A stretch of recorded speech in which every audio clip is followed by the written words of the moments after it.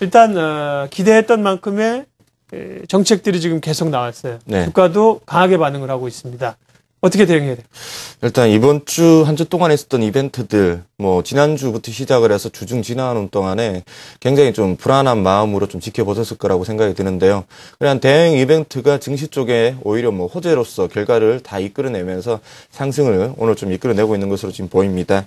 주 같은 경우에는 독일 헌법재판소에서 ESM에 대한 합원 여부 그리고 어제였죠. 국내 같은 경우에는 기준금리에 대한 변화 여부 그리고 선물 옵션 동시 만기일이었고요. 그리고 오늘 새벽에 같은 경우에는 미국 쪽에서의 뭐 QE3 뭐 실세에 대한 부분들까지 확인이 되면서 이제 좀 우려했었던 이벤트들이 긍정적인 효과를 계속해서 좀 만들어냈다라고 보시면 되실 것 같습니다. 일단 시장의 방향성 자체는 유동성이 좀 만들어질 수 있는 환경 여건을 1차적으로 좀 이끌어냈다라고 보시면 되실 것 같은데 다만 이제 지수가 이제 지속적으로 좀 더 올라갈 수 있느냐에 대한 부분을 어, 좀더 염두를 해주셔야 되실 것 같습니다. 일단 유동성이 만들어질 수 있는 효, 어, 환경은 만들어지긴 했었지만은 즉각적으로 지수 방향성이 계속해서 좀 이끌어내는 부분은 상당히 좀 제한 적일 수밖에 없지 않나라고 지금 보여집니다.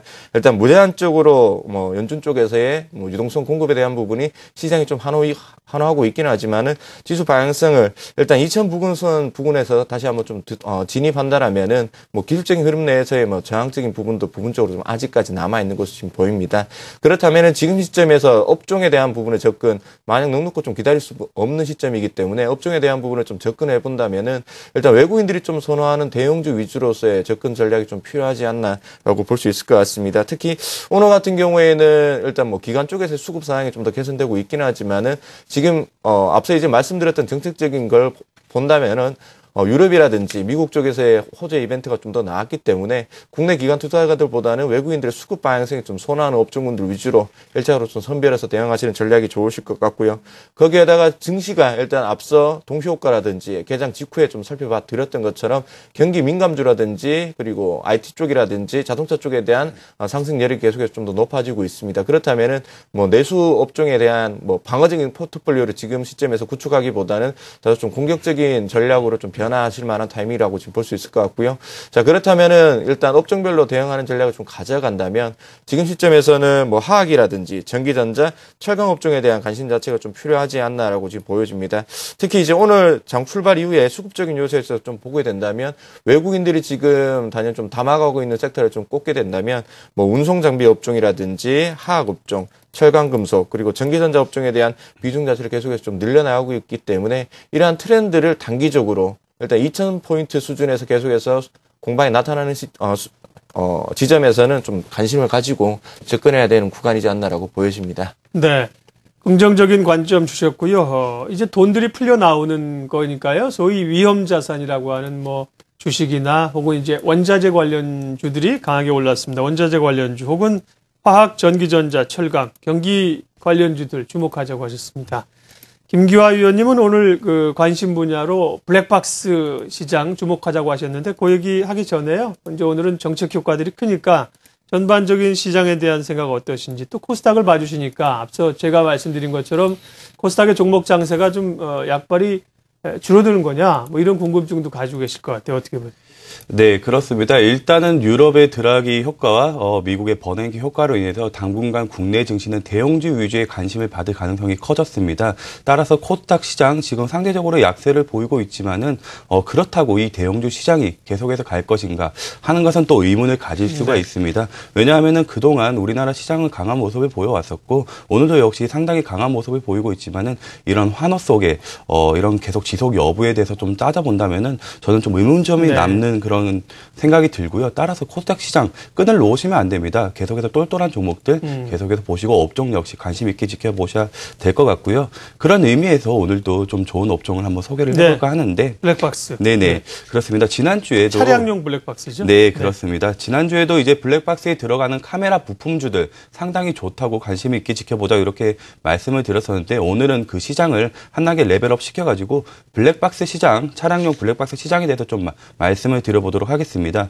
최근 들어서 블랙박스에 대한 그런 인식이 변화하고 있는데요. 어, 어떤 분들은 사고가 나면은 변호사보다 더 믿음직한 내 편 이렇게 말씀을 하시는 분들도 있습니다. 그리고 이제 앞, 앞으로 이제 추석이 다가오는데요. 명절 주요 선물 리스트에도 블랙박스가 포함이 되었고요. 그리고 블랙박스 장착 차량에 대한 보험료 또한 할인 상품이 계속해서 나오고 있는 그런 모습입니다. 따라서 이제 이런 블랙박, 블랙박스가 관심이 고조되고 있다. 이러한 점을 좀 기본적으로 인식을 하셨으면 좋겠고 블랙박스는 2008년에 처음 출시가 되었는데요. 2012년 올해에는 올해까지 이제 매년 100% 이상의 성장률을 기록을 하고 있습니다. 그렇다면 향후 어, 주가 및 블랙박스 업체들의 주가 및 실적 이 지속될 수 있을까 이런 것들을 좀 점검을 해보겠습니다. 어, 블랙박스 시장이 향후에도 고성장이 가능한가 이런 질문을 놓고 한번 봤을 때 국가라든지 보험사라든지 개인 등의 모든 이해 관계자가 수요 증가를 원하고 있습니다. 블랙박스로 인해서 교통 교통사고 발생이 감소하는 그런 효과가 있고요. 그리고 블랙박스 의무화 추진 등 그 정부 등에서 이제 지속적으로 노력을 하고 있는 그런 정책적인 모습도 있습니다. 그리고 자동차 보험 수지 개선을 위해서 블랙박스 확대 지원에 보험사들도 적극적으로 지원을 하겠다 이런 좀 의견을 밝히고 있고요. 그리고 최근 들어서 아주 그런 강력 범죄라든지 여성 운전자 등의 그런 범죄들이 많이 일어나고 있는데 이런 인식이 바뀌고 있습니다. 여성 운전자라든지 아니면 수입차를 가지고 계신 분들 블랙박스의 필요성을 계속해서 좀 어, 계속해서 그렇게 느끼고 있는 그런 모습인데 그렇다면은 2011년 말에 이제 보급률이 어떠냐 이렇게 좀 살펴봤더니 아직까지 많이 필요하다고 인식을 하면서도 보급률은 11%에 불과합니다.